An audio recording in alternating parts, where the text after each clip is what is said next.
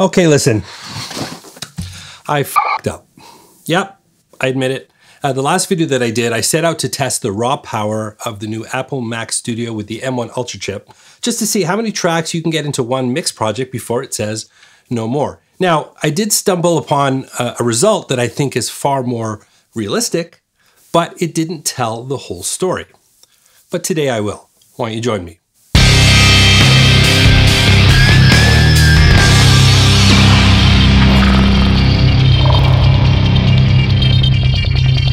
It's true. Uh, if the intention of my last video was to see how many tracks we can get into one project with the Apple Mac Studio, uh, I made a little bit of a mistake. Now, as I said, the results I think are far more realistic, and here's why.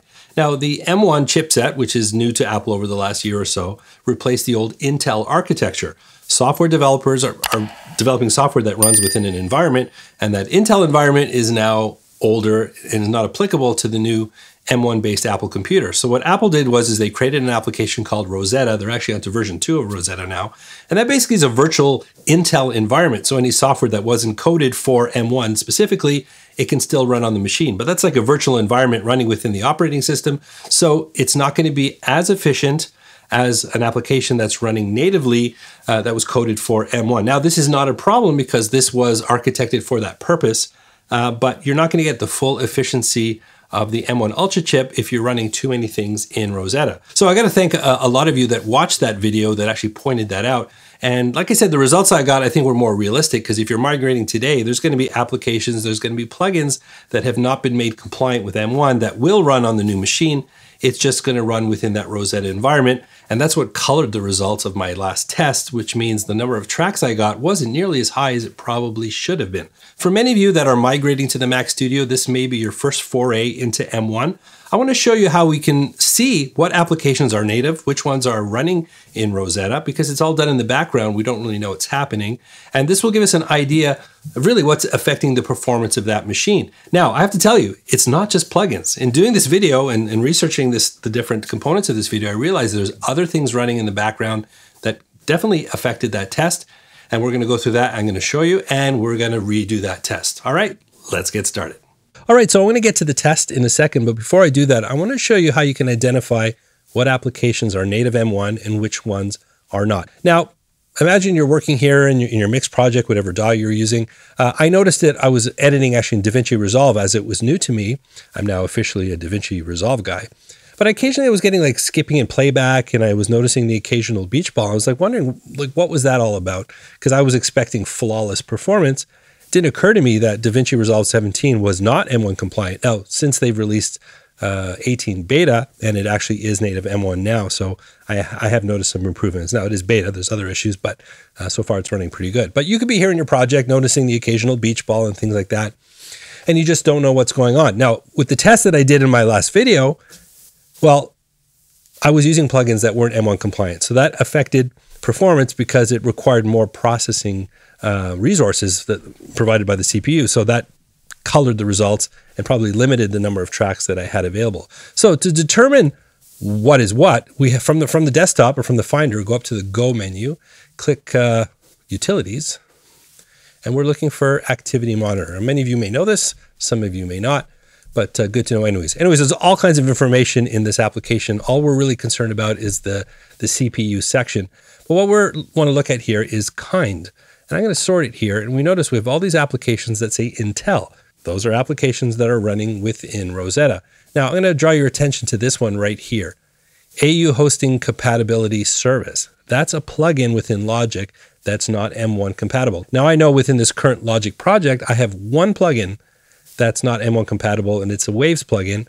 And look at this. It's, it's sitting in idle here. It's right now at 0.6%. I saw it as high as 1.2%. It kind of fluctuates, but right now it's idle. It's not doing anything. And that's only one plugin. Now, look at these other things that are running here. Uh, Focusrite Control. That's the software that drives my audio interface. Now, I don't need it running all the time, but I use it obviously to administer my audio interface. Now, I'm going to play something here and let's watch this.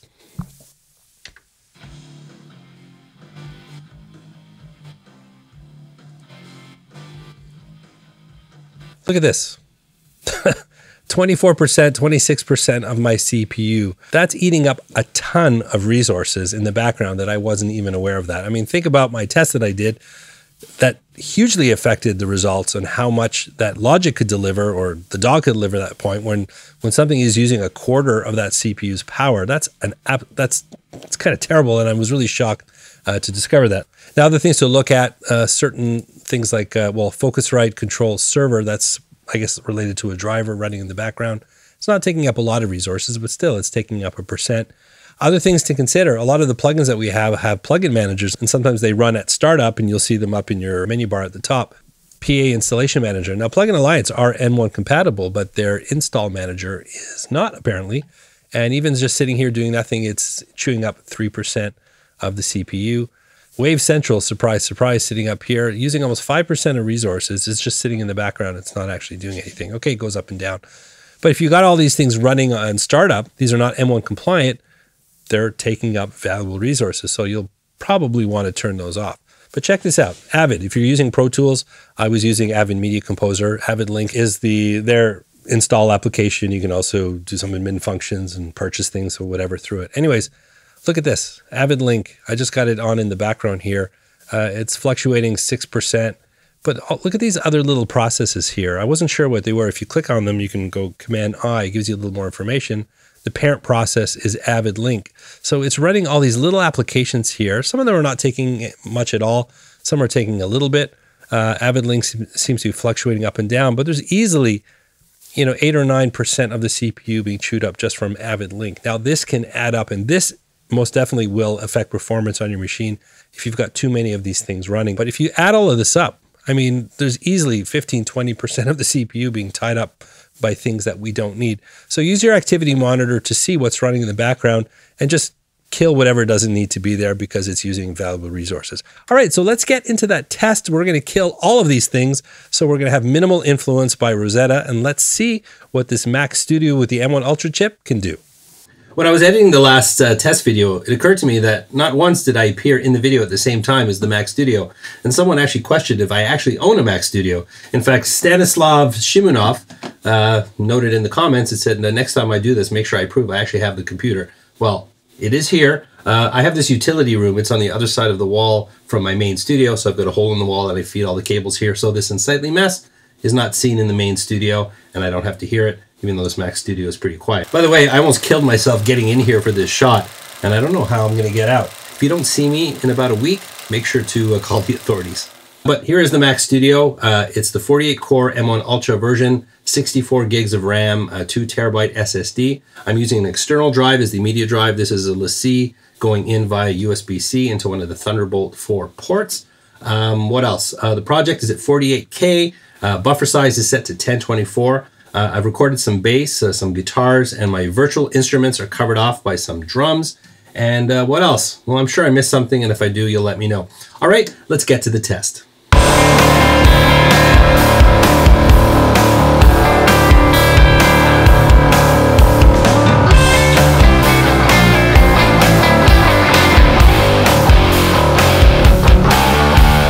First, my virtual instruments are covered off by drums.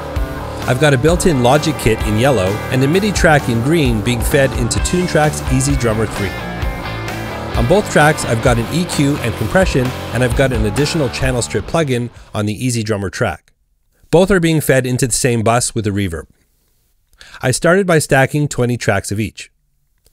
With a total of 45 tracks, the session is playing effortlessly with the CPU running at about 25%. Next up was the bass track, which has a channel EQ, bass amp plugin, and a compressor. I copied about 20 tracks. Well, at 68 tracks, the Mac Studio has barely broke a sweat.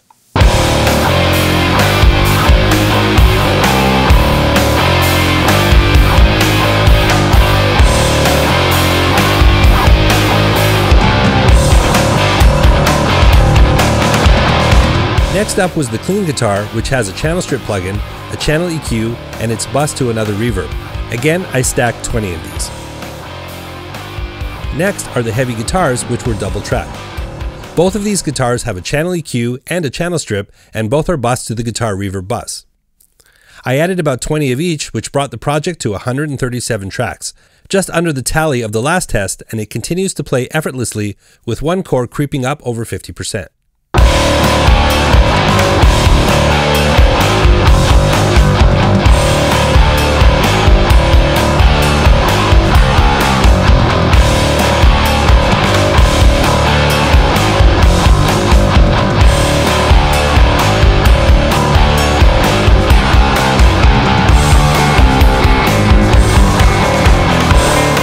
This looked like it was uh, too easy, so I had to step up my stacking game. I needed more virtual instruments, so I piled on more drums from both the Logic Drummer and EZ-Drummer. At 150 tracks, the project was still playing easily, and that one core seemed to calm down. So I added more bass tracks and guitar tracks to bring the project up to 200 tracks, and it still continued to play easily with the load of the core starting to creep up a bit. So I added a bit of everything, and at 300 tracks, still playing and it continued to play at 350 tracks, 400 tracks, and 500 tracks. So I added another 50 tracks, and at 550 tracks, the project is still playing, but it seems to have finally hit its limit. Yep, it took 550 tracks to choke the Mac Studio this time. So 550 tracks. You know, you can shave a few off of there if you want to, because that's where we crapped out. I actually crashed the project. I couldn't even open it again. But uh, listen, on my last test, uh, where I did have non-M1 compliant things running in the background, I capped out at 140. So running natively uh, in M1, uh, we're looking at 500, 500 plus tracks, we want to say. We've got 103 stereo virtual instrument tracks, 447 mono audio tracks. We've got plugins. Uh, we're busing everything to reverbs. Uh, even on the master bus, I've got a master bus compressor, I've got an EQ, and a mastering plugin. So all in, we're well over 500 tracks. Now, I'm sure someone's going to complain about this, but this is pretty reminiscent of what I put into my projects, give or take. If you record at 44.1 or 96, you can do some kind of math. But really, from 140 to 550, you can see the difference it makes if you're running too many non-M1 compliant applications in the background. It really does put a drag on the CPU. So if you do need full power, you're going to be one aware of that. But for most of us here, honestly, I generally don't need more than 50 or 60 tracks in a project, and that's a big project for me. So if I am running plugins that are non-M1 compliant, it's really not going to make a difference because I'm never going to need 500 tracks. But it does give you an idea of the resources you have here in the Mac Studio, especially in the M1 Ultra. Uh, the M1 Max uh, reports are it's doing good on its own as well. So uh, like I said, if you don't need 500 tracks, I think even the M1 Max uh, version suit you just fine. But uh, if you disagree with anything I've done here or you have any thoughts, comments, that's what the comment section is for. Uh, if you did like this video, don't forget to like, subscribe, and ring the bell. Uh, if you want to do a deeper dive with me, I'm on Patreon. I have affiliate links. Hey, we've even got merch now. All that information is in the description. It all helps the channel. I really appreciate that. But the most important thing is to check out another video. I've got one waiting for you right here. And remember, you don't need a band to rock and roll. And I look forward to seeing you again in another video.